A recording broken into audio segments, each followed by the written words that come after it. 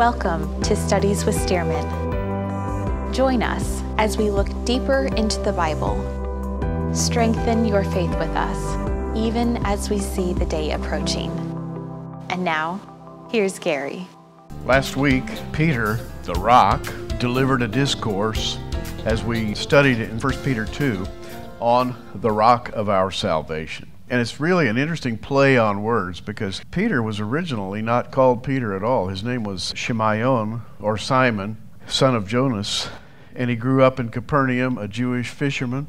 I'm sure he was literate in the sense of the scriptures, and I'm sure he attended what was a major synagogue there in Capernaum.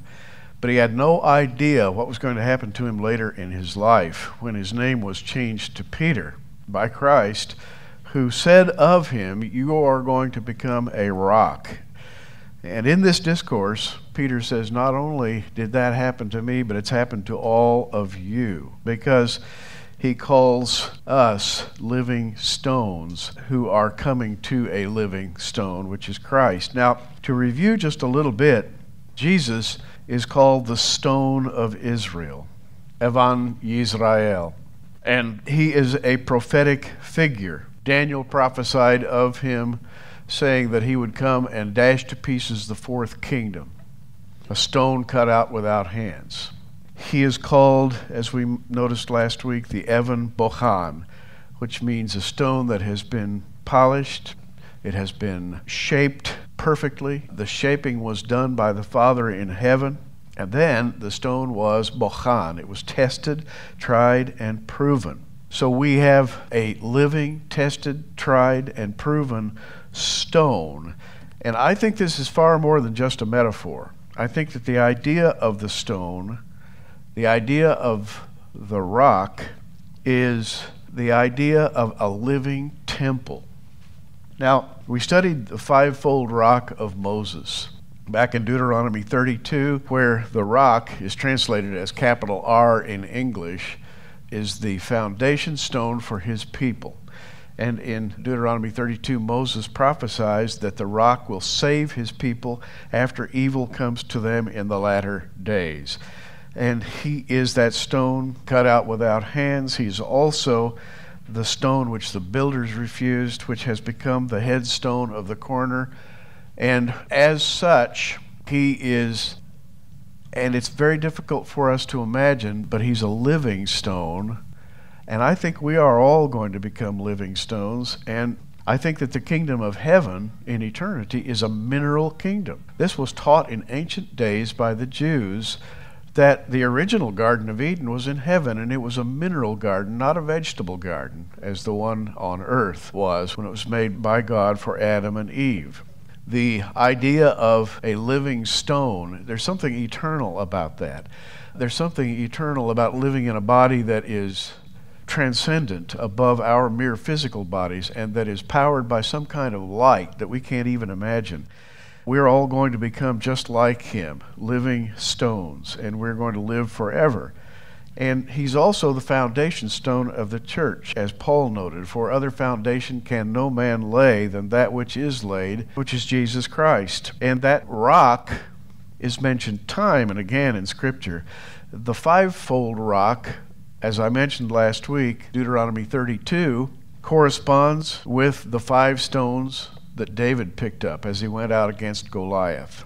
And those five stones are a picture of the five major kingdoms that will rule the world until Jesus comes back and repairs the breach. The first kingdom, Babylon, second, Medo Persia, the third, Greece, the fourth, Rome. We're now living in the Roman era.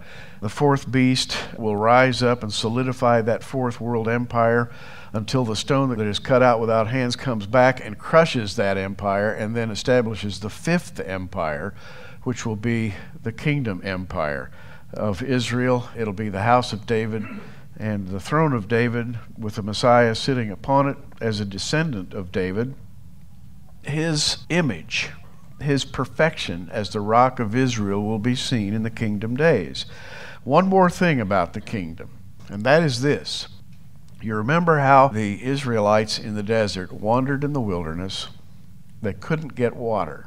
And they came to the rock near Mount Horeb. And God said to Moses, Strike the rock with your staff, the same staff that you threw down before Pharaoh in Egypt, and water will come out. Well, it happened, and water came out, I think, by the millions of gallons. And later on, as the Israelites left that area and headed toward the kingdom, but they fell into apostasy and were thwarted in their efforts to reach Israel, they came back to that rock a second time. Now, it had already been split, but it was running no water. It was dry when they came back to it. The people says, You've brought us out here to die." And Moses got mad at the people and said, "You people are absolutely unworthy of anything. But if you want water, I'll give you water." He walked over to the rock and smote the rock twice, as you all know. And that rock was called in the first instance Tsur, which means bedrock or giant boulder. But after he hit it with a staff, remember it was called Selah, which means a split or a fissured rock. And he hit the split rock twice with his staff, and again, millions of gallons of water came out, but it came out without blessing. And the Lord took Moses aside and said, You're not going to go into the promised land because all you really had to do was speak to the split rock. It had been split one time, and once is good enough for all time. That rock still stands there today, and it's still split right down the middle, by the way. And you can see it. You can see how bedrock was literally eroded away for miles because of all the water that came out. But that's not the end of the story. If you go back to Zechariah chapter 12 and into what's known as the little apocalypse of Zechariah, you find the end of the story of the rock of Moses. It's very fascinating because Israel today has a water problem. I don't know whether you followed Israel or not, but every now and then an article will come out in the Jerusalem Post or Arutz Sheva or perhaps Yediot Acharonot or one of the major newspapers in Israel, and, and it'll talk about how Israel's running out of water and how everybody upstream is siphoning water off the Jordan River and the Sea of Galilee is getting lower and lower. The Dead Sea is drying up. And Israel has a water problem, needs water a lot. It's thirsty. Modern Israel is spiritually thirsty people in Israel today are dry. They're dry in physical water and they're dry in spiritual water. And they're saying, Lord, you brought us out here to kill us. What are you going to do? There will come a day when the Lord steps out of the heavens. Things are going to get worse before they get better. And you read about this in Zechariah 14:3, then shall the Lord go forth and fight against all those nations as when he fought in the day of battle. All those nations that have come against Israel are going to be defeated by the Lord, and his feet shall stand in that day upon the Mount of Olives, which is before Jerusalem on the east, and the Mount of Olives shall cleave in the midst thereof toward the east and toward the west, and there shall be a very great valley. Half the mountain shall remove toward the north, half toward the south, and ye shall flee to the valley of the mountains, for the valley of the mountains shall reach unto Azal. Yea, ye shall flee like as you fled from before the earthquake in the days of Uzziah, king of Judah. And the Lord my God shall come, and all the saints with thee. Well, this is a great day when the Lord reappears. But here is the good part. Verse 8 And it shall be in that day that living waters shall go out from Jerusalem, half of them toward the former sea, half toward the hinder sea. That's half toward the Mediterranean, half toward the Dead Sea. In summer and winter shall it be. Massive quantities of water are going to flow out of where the Mount of Olives now stands that rock's going to be split. So the rock in the desert that was split by Moses with the staff is only a type of the real rock that's going to be split. And Jesus knew about this. Can you imagine this? He sat on that very mountain with his disciples, and they said, Lord, tell us about the end of days and tell us how this is all going to come to an end. And so he started talking to them, and he told them, all the while knowing in the back of his mind that one of these days I'm going to come back and I'm going to stand on this place. It's going to split right down the middle, and massive quantities of water are going to flow out of it. And there will not be in that day a water shortage in Israel, I guarantee. And nor will there be a spiritual shortage. That is the rock. Now, we could go on for hours about the rock, but the reason Peter lays this out this way is so that we can fit ourselves into this marvelous picture as little stones. He is the real stone, but we are little stones. We are laid upon Him as you would lay stones upon a foundation. And one of these days, it says in Revelation, we're going to become pillars in the temple of the living God. I don't know how that's all going to work, but it's going to work, and it's going to be great. And so we need to see ourselves in that light. And then Peter concludes this dissertation by saying, You are a chosen generation, a royal priesthood, a holy nation, a peculiar people. And again, I repeat that that peculiar people is a fascinating title. This will be the third week I've mentioned this because it's really worth remembering. You are a peculiar people. The Greek word peripoiesis means to obtain, to acquire after great struggle, or to acquire after great effort, something that is deeply desired and something that is a purchased possession. And you know, we have a picture of that. Jesus himself referred to the royal priesthood and the chosen generation as a pearl of great price, sought after by a merchant. He's talking about a merchant who would go around the world seeking the finest stones, pearls, uh, rubies, diamonds. But he's looking for one particular pearl, better than any other pearl you can think of. And pearl, of course, is an organically accreted, perfect sphere that is an absolutely wonderful symbol of the body of the living God. Because a pearl is formed over time as calcium carbonate accretes in an organic manner, layer upon layer, to form a thing of glowing beauty that just is, is, indescribable. And if you have one of these an inch in diameter, it's worth millions. People have lived and died for pearls of great price. And the church is a pearl of great price. In fact, the Greek word is peripoiesis, this purchased possession. You are a chosen generation, a royal priesthood, a holy nation, a peculiar people, a peripoiesis.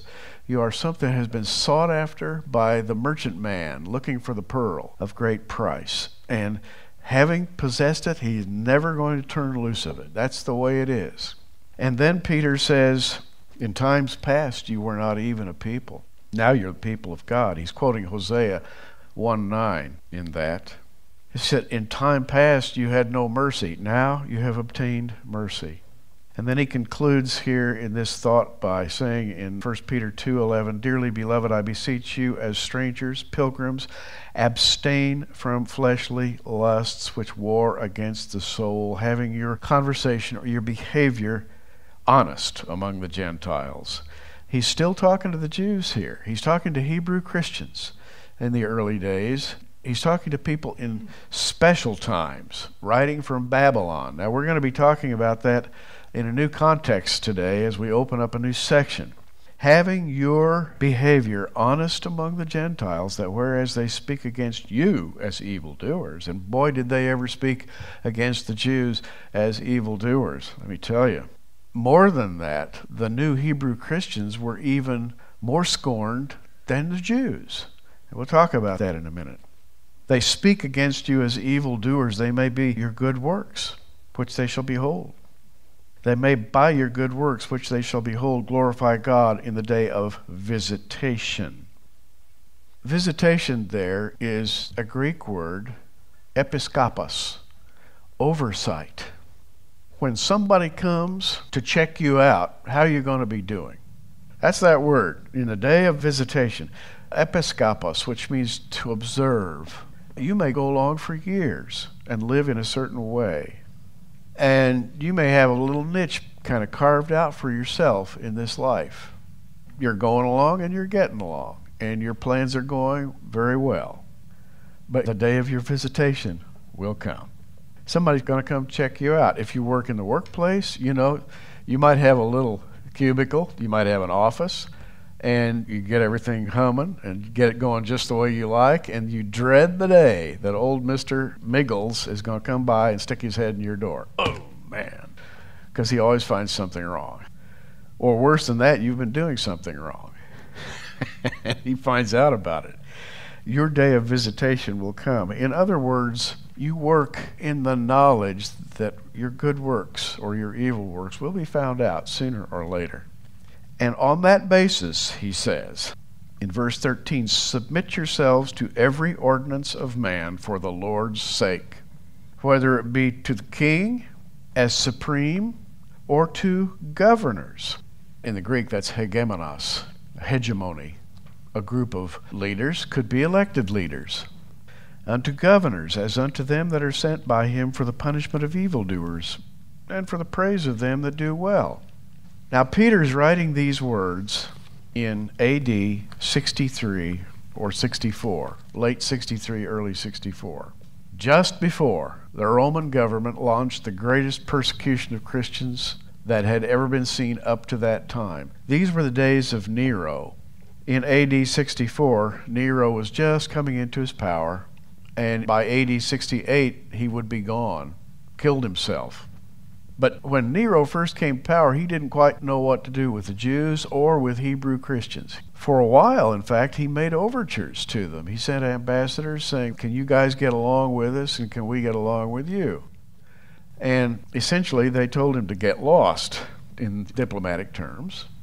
And he lost no time in declaring them enemies of the state. And so, a couple of years after Nero had come to power, and this is the time that Peter is writing here, he began to persecute the church. Now, Nero is a historical type of the Antichrist. There's no question about it. During Nero's life, he did many, many horrible things to Jews and the new Hebrew Christians and to Gentile Christians. And when he went east on a military campaign, during that time, AD 68, Nero found himself at odds with his own government and in political difficulty. And in a fit of passion, and some say it was drunken passion, he killed himself off in Asia. Well, the word came back to Rome Nero's killed himself. And the state of Rome was plunged into a political upheaval that lasted about a year. And during this time, there were many, many rumors to the effect that, yes, Nero had died, but he had come back to life again.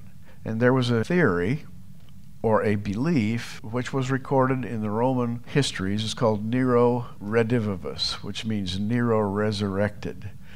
And a number of people and historians wrote in those days, including Tacitus, by the way, Cornelius Tacitus, who was a patrician senator of the Roman Empire, very wealthy and very well educated.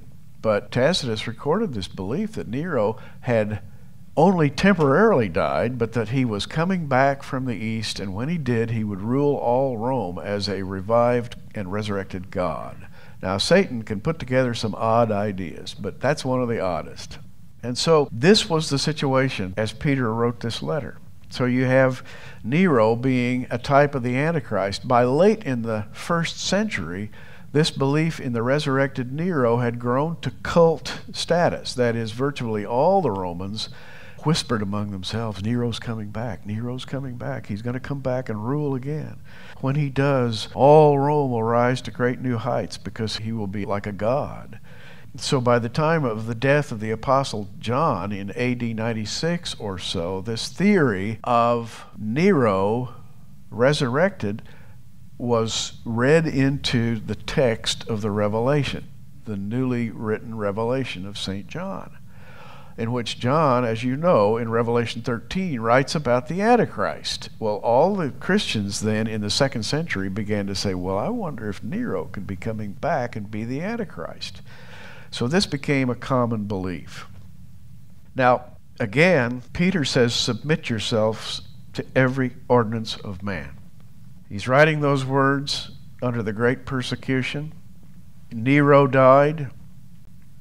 After Nero died, four men tried to be emperor in AD 69. They all failed, they couldn't pull it off. Then came the Flavian dynasty, Vespasian, Titus, and Domitian, who made it their personal mission to wipe out the Jews and the new Hebrew Christians once and for all. Final solution, you might say. Vespasian came to the throne in 69, ruled till 79. This is during the time when the temple was destroyed. Titus came to power in 79 to 81, and Domitian came to power in 81 to 96. So from 69, just after Peter wrote this letter, until 96, there was an incredible persecution of the Christians. Domitian, the last of the Flavians, was a suspicious, cruel, tyrannical man. His whole reign was filled with state trials, show trials for treason. There were political murders, there were persecutions. The senators of Rome suffered right along with the Christians. Cornelius Tacitus was enraged and embittered by what he deemed to be the absolute collapse of the empire. He believed in Roman law and he believed that things should proceed decently and in order, and they had just spun out of control in a wave of Christian persecutions and suspicion and tyranny. It was called the Great Reign of Terror. It ended in AD 96 with the death of Domitian. And after that, there was about an 80 year period of wonderful peace. And in fact, Gibbons, in his Decline and Fall of the Roman Empire, says that from about the end of the first century for the next 80 years was the finest time ever comprehended by man. Utter peace. Nobody got persecuted. Everything was fine. And you know, in that day, Christianity began to thrive. But of course, a new wave of persecutions was on the horizon. Tacitus, Cornelius Tacitus, recorded all this. And in the Annals of Tacitus, published in 117 AD, he writes these notes, which I want to repeat just to give you a flavor of the times in which Peter was writing. Tacitus says such were the remedies of human forethought. Later, means of appeasing the gods were sought, and the Sibylline books were consulted, and these advised the offering of prayers to Vulcan, Ceres, and Proserpine, and the propitiation of Juno by the matrons of Rome. Kind of a wonderful religion they had there. This took place first on the Capitol, then at the nearest point on the coast, where water was drawn to sprinkle the temples and statues of the gods. Women whose husbands were living performed night long rituals, and there were solemn banquets, but no human aid, no money coming from the emperor, no supplications to heaven did anything to ease the impression that the fire had been deliberately started. This is the fire that was set that burned Rome, and the Christians were blamed for the burning of Rome, as you know. Nero looked around for a scapegoat, inflicted the most fiendish tortures on a group of persons already hated by the people for their crimes. This was a sect known as Christians. Now, I'm just reading the words of Cornelius Tacitus, written around 117 AD. Let me repeat that. This was the sect known as Christians. Their founder, one Christus, that's what he called Christ, had been put to death by the procurator Pontius Pilate during the reign of Tiberius. This checked the abominable superstition for a while. He calls Christianity an abominable superstition. This checked the abominable superstition for a while, but it broke out again and spread not merely through Judea, where it originated, but even to Rome itself, the great reservoir and collecting ground for every kind of depravity and filth. Those who confessed to being Christians were at once arrested. But on their testimony, a great crowd of people were convicted, not so much on the charge of arson, but of hatred for the entire human race. They were put to death amidst every kind of mockery, dressed in skins of wild beasts. They were torn to pieces by dogs, or they were crucified or burned to death. And when night came, they served as human torches to provide lights. Nero threw open his gardens for his entertainment and provided games in the circus, mingling with the crowd in a charioteer's dress or else standing in the car itself. These Christians were guilty and well deserved their fate, but a sort of compassion for them arose, and because they were being destroyed, to glut the cruelty of a single man, and for no public end. Well, I could read on, but you get the idea about how Christians were treated at the time when Peter wrote these words. 1 Peter 2:13 Submit yourselves to every ordinance of man for the Lord's sake, whether it be to the king, now that would be Caesar, as supreme, or unto governors. Now these would be the senators and the procurators and proconsuls as unto them that are sent by him for punishment of evildoers, for the praise of them that do well. Now, Peter's writing this from the far eastern wing of the Roman Empire out in Babylon. and it's run a tightly controlled Roman procurate. But Peter has this view of government and of Christians in government. And I think it's fascinating that under these circumstances he wrote these words. Verse 15 For so is the will of God, that with well doing you may put to silence the ignorance of foolish men. You think you got it tough. You think your representatives are going south on you. You think politics are bad. You think the government is anti Christian. You haven't seen anything. Peter saw some tough, tough times. He ended up, by the way, in Rome after spending much time in Babylon. Only in the last couple of years of his life did he go back to Rome. Just before he died, they took his wife out and executed her publicly. And he shouted to her as she was being executed. This is recorded historically, saying, Remember the Lord. Remember the Lord. Remember our Lord's love. And he was crucified not long after that.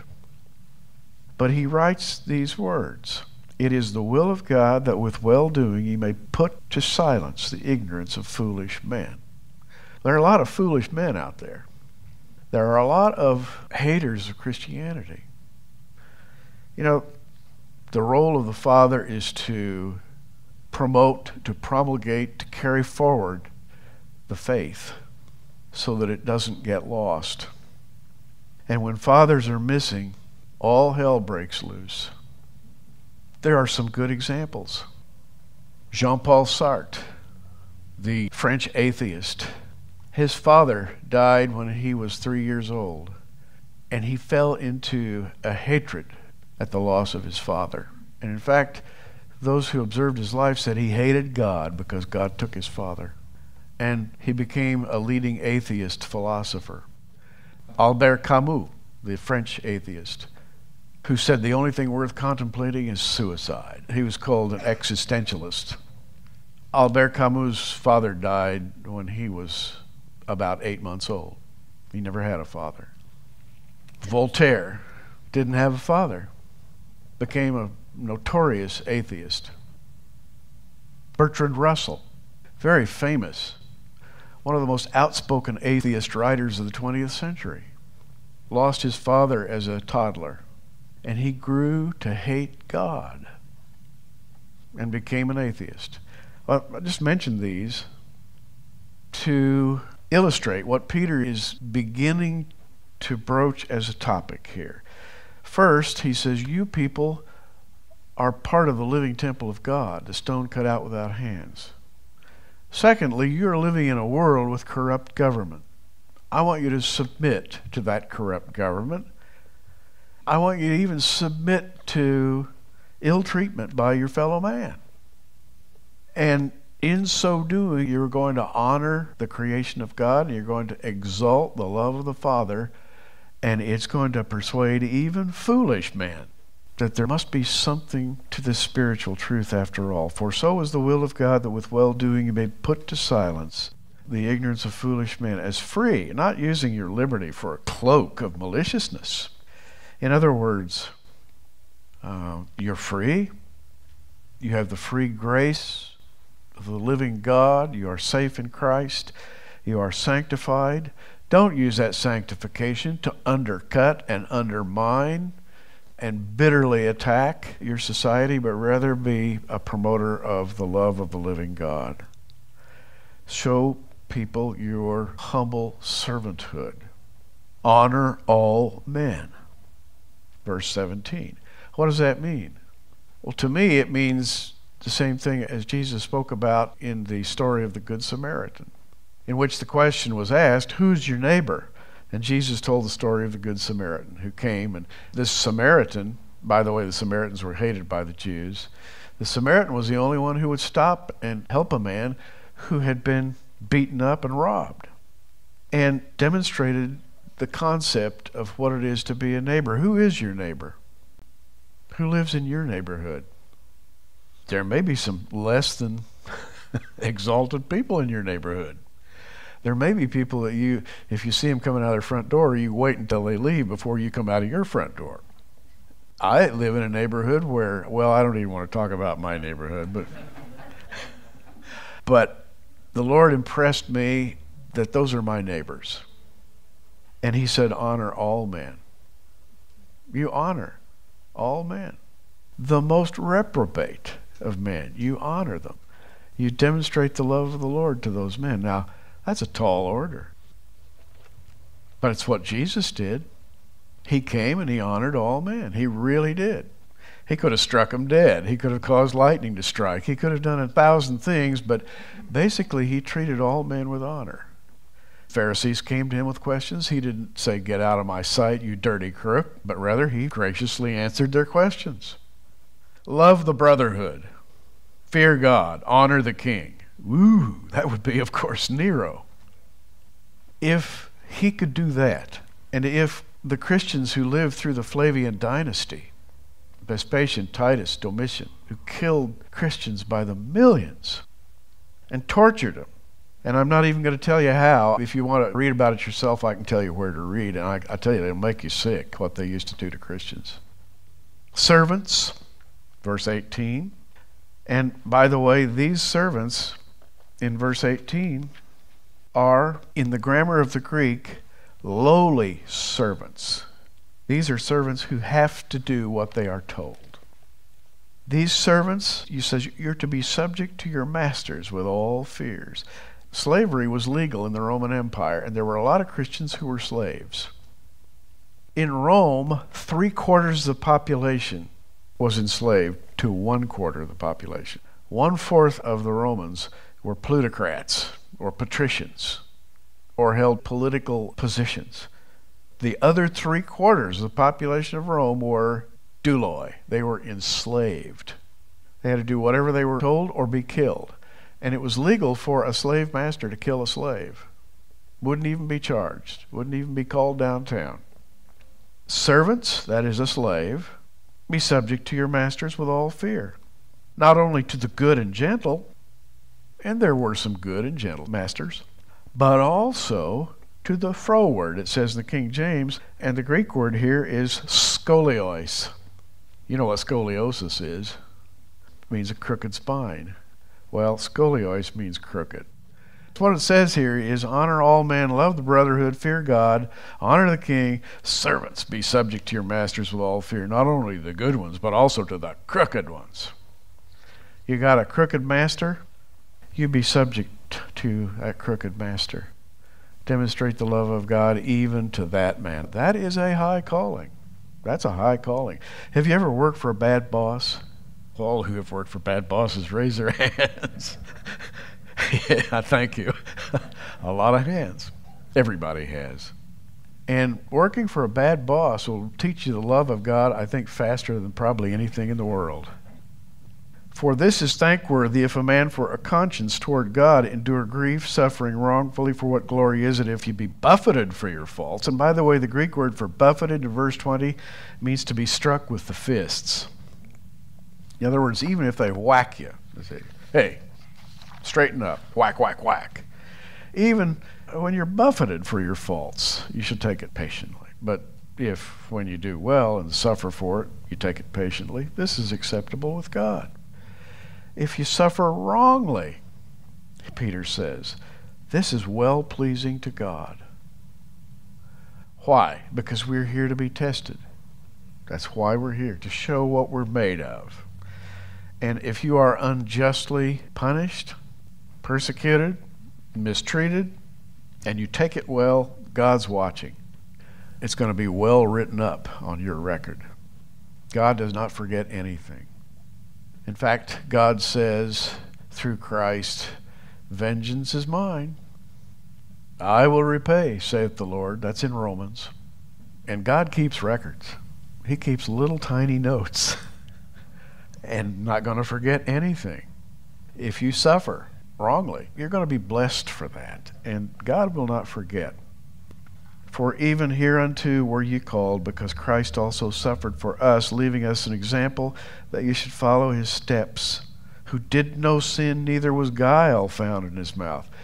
In other words, Jesus didn't plot, he didn't plan, he didn't work any ploys, he just told it like it was. He always told the truth, he told it straight up.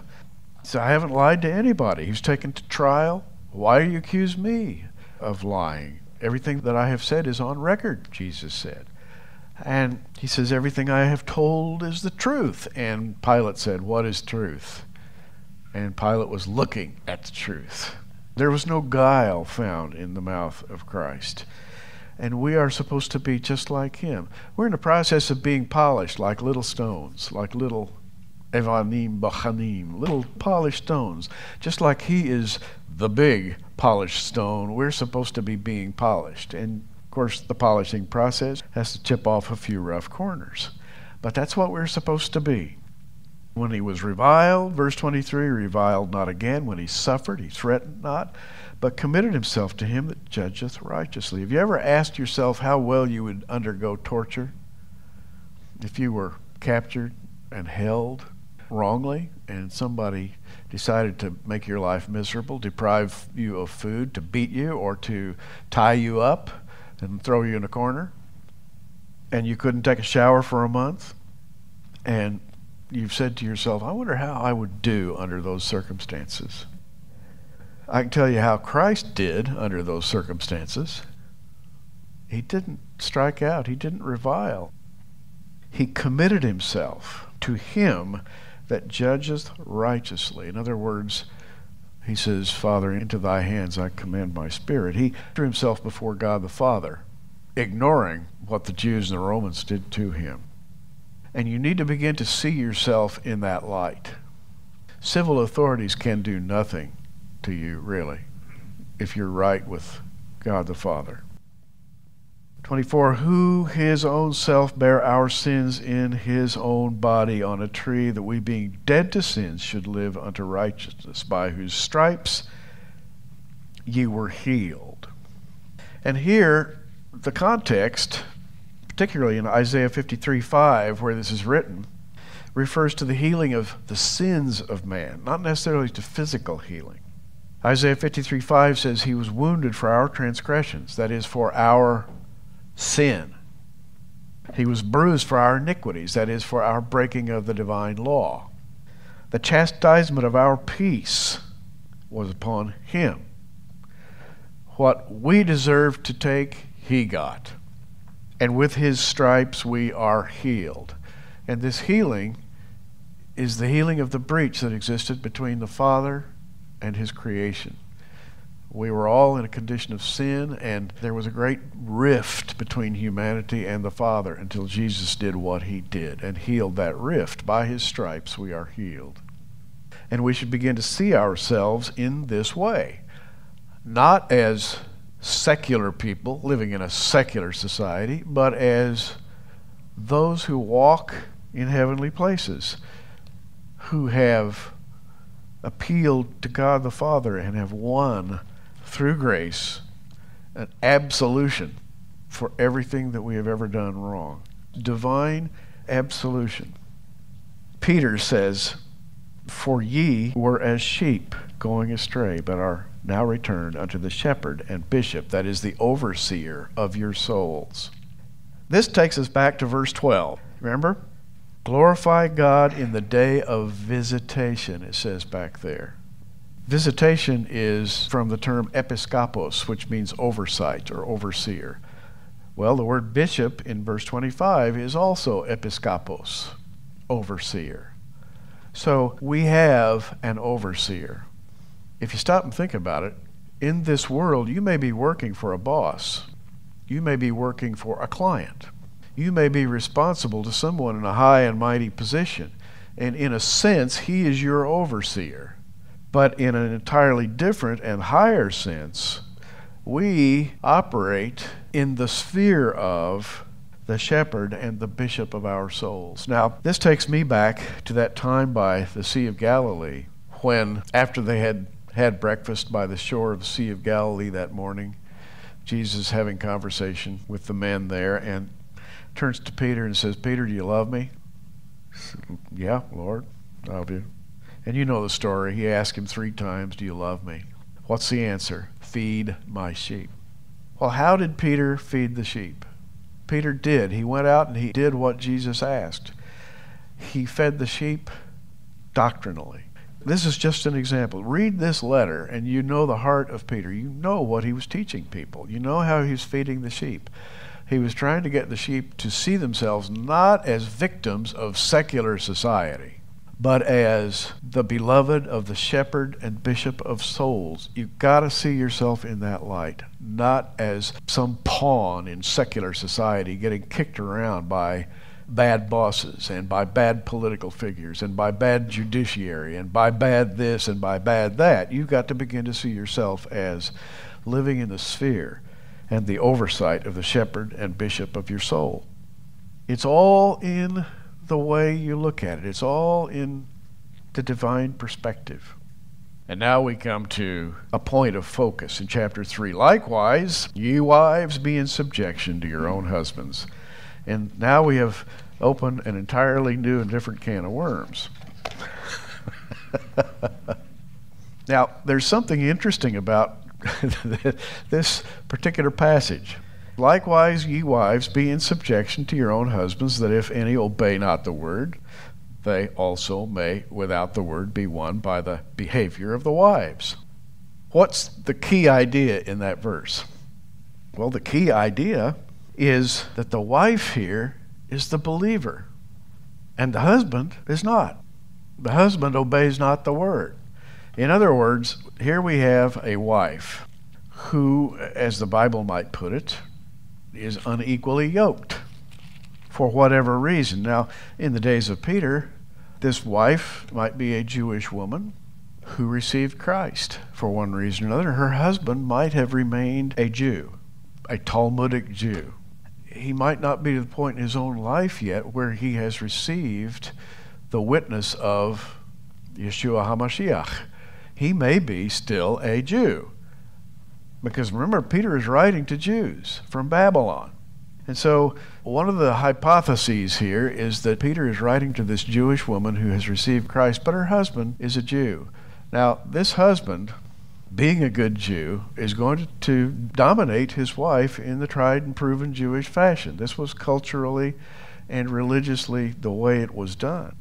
I'm sure that many times people and some of these wives probably came to Peter and said, Listen, yeah, I believe in Yeshua.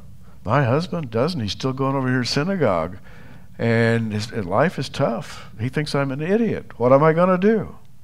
And Peter says, You become a living sermon to your husband about the grace of Yeshua HaMashiach. Now, this is quite different than Paul. When you go back to Ephesians, where it says, Husbands, love your wives, even as Christ also loved the church and gave himself for it, he's talking here about a marriage between two believers. That he might sanctify it, cleanse it with the washing of water by the word, that he might present it to himself as glorious church, not having spot or wrinkle or any such thing, but that it should be holy and without blemish. So ought men to love their wives as their own bodies. He that loveth his wife loveth himself. Husbands are commanded to love their wives in precisely the same way that Christ loved the church. There is a high calling. That calls for incredible sacrifice, man. No man ever yet hated his own flesh, but nourisheth and cherisheth it.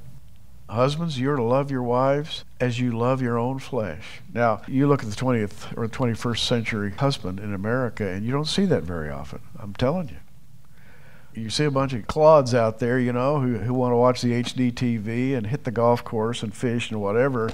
And if the wife and kids tag along, well, fooey.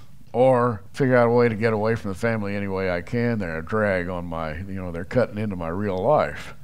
That's kind of the American way, you know. But Paul says, oh, no, you don't hate your own body, and your wife and your children are your own body. For we are members of his body, of his flesh and his bones. For this cause shall a man leave his father and mother, shall be joined unto his wife, they two shall be as one flesh. Now he's speaking here about the relationship between Christ and the church. He's also speaking about the marriage, because just before this, he says, in Ephesians 5:22, "Wives, submit yourselves unto your own husbands as unto the Lord, for the husband is head of the wife, even as Christ is the head of the church. He is savior of the body." Now, how is Christ head of the church? Is he a despot? Is he one of these blood and thunder comes through the front door and everybody runs to hide because dad's in the house? No. Did Jesus ever make you pray? No. Does Jesus make you give to the church? No.